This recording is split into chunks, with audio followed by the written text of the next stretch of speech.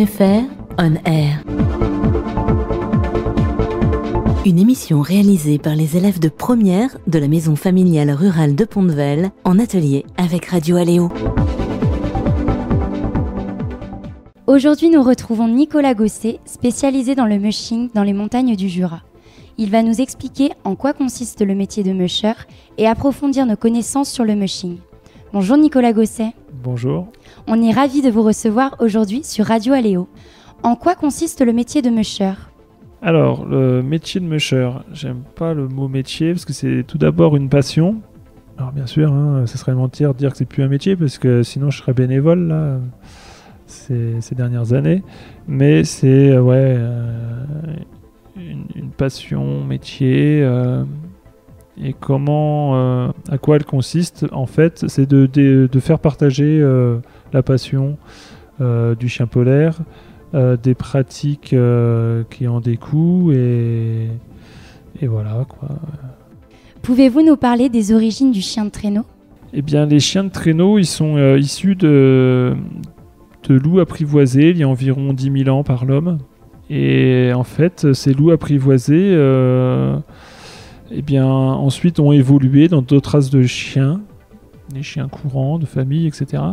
Le chien de traîneau, lui, il est resté euh, quasiment euh, tel quel, euh, comme il y a ces plusieurs milliers d'années. Donc très primitif, très proche de leur ancêtre au niveau du comportement. Est-il possible de faire du mushing pendant toutes les saisons de l'année? Alors Matt, euh, oui, euh, depuis quelques années, euh, on a vraiment développé des, activités multisaisons autour, autour des pratiques avec des chiens polaires. Alors bien sûr, il y a le traîneau l'hiver, il y a le ski de jogging aussi, qui est une pratique de ski tractée par un chien. Et le reste de l'année, ce qu'on appelle les activités hors neige, il y a la cani-rando, le cani-cross, le cani-trottinette, le cani-VTT, traîneau à roues qu'on appelle carte dans le jargon mushing. Et euh, ce qui permet euh, de, voilà, de faire découvrir euh, à tout public et à toute saison les chiens de traîneau dans leur sport. Comment gérez-vous la meute durant votre activité?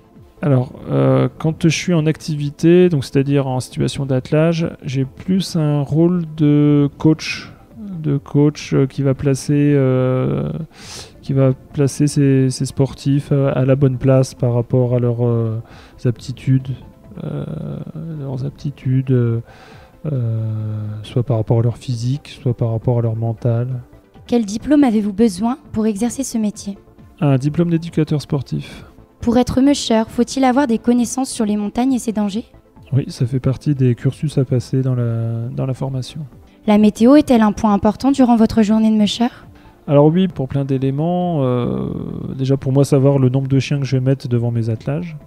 Alors je parle de pour l'hiver, hein, parce que suivant les qualités de, neige ou de glace, c'est à moi de trouver le bon équilibre pour mettre suffisamment de chiens pour avancer à une vitesse relative et pas de trop pour moi gérer euh, en toute situation euh, mes chiens. Est-il important de connaître l'anatomie des chiens? Ah, c'est mieux, oui, c'est mieux euh, pour euh, déceler peut-être euh, des problèmes ou, euh, ou au contraire des, des qualités dans certaines lignées de chiens, certaines familles. Y a-t-il des législations à respecter durant votre activité? Si oui, pensez-vous que cela évoluera dans le futur?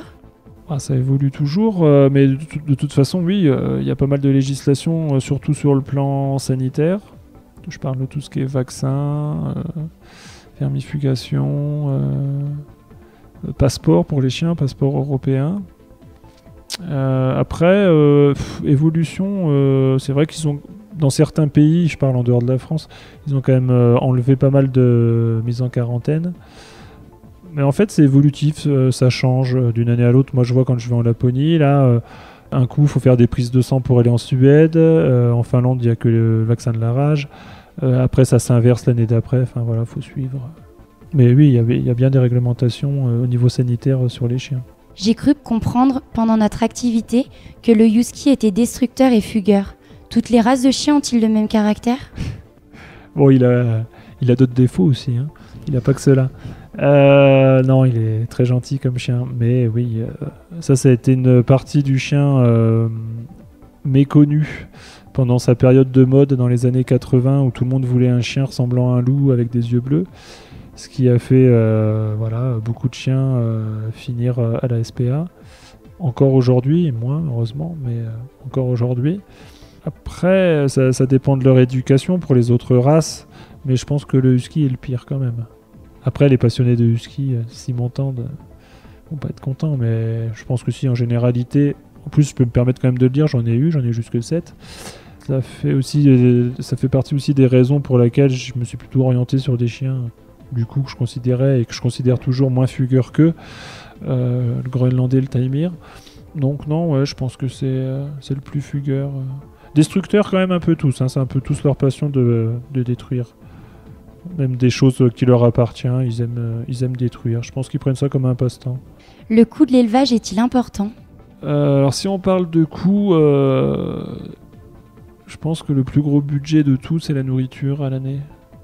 Euh, J'aurais pas de chiffre comme ça en tête, mais euh, un chiffre qui m'est bien resté en tête, c'est que par exemple, moi pour ma meute de 23 chiens, il y a 11 tonnes de viande qui passent en œufs par an, avec 2 tonnes de croquettes. Pensez-vous à diminuer ou augmenter votre nombre de chiens? Alors, chaque année, j'ai plus de chiens, mais chaque année, je dis que je vais, euh, que j'essaye de stabiliser mon nombre de chiens. Mais non, euh, là, euh, là, faut, là, je vais vraiment stabiliser. Nous sommes ravis de vous avoir reçu sur Radio Aléo pour cette interview sur le mushing. Vous pouvez retrouver Nicolas Gosset sur le site www.1-tourisme.com ou www.latitude-du-nord-chien-traîneau.com. Vous pouvez retrouver notre interview sur le site www.radioaleo.eu et pour plus d'informations sur la MFR, vous pouvez retrouver notre site www.mfr-pont-2-vel.fr. Merci. C'était MFR On Air, une émission réalisée par les élèves de première de la MFR de Pont-de-Vel. Retrouvez toutes les émissions sur notre site internet radioaleo.fr.